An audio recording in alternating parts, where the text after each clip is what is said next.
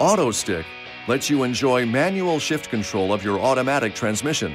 It maximizes engine braking and eliminates unwanted up and down shifts for better overall performance.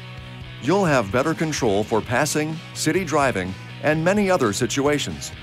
When the transmission's in drive, it shifts between available gears automatically. To engage Auto Stick, from drive, move the gear selector to the left. The current gear will appear in the instrument cluster display when Auto Stick is active.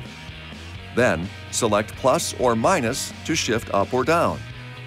However, if an engine lugging or overspeed condition would occur, the transmission will stay in the current gear and will remain there until another up or down shift is chosen.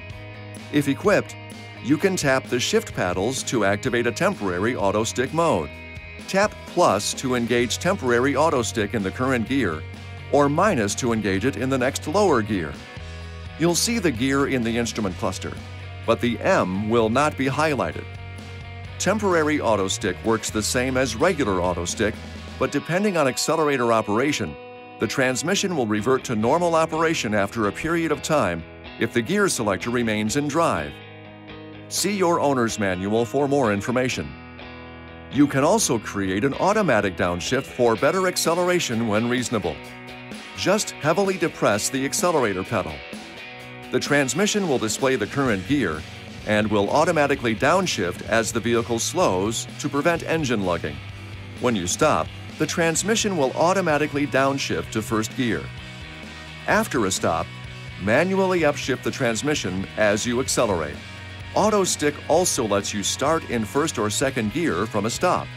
Tap plus at a stop to start in second gear, which is great in snow or icy conditions. The system will ignore upshift attempts if speed is too low. Avoid using speed control when auto stick is engaged. Also, shifts will become more pronounced in auto stick mode. To disengage auto stick, return the gear selector to the drive position. You can shift in or out of the auto stick mode at any time with your foot on the accelerator. This video is not intended to take the place of your owner's manual. For complete details and other important safety information, please see your owner's information.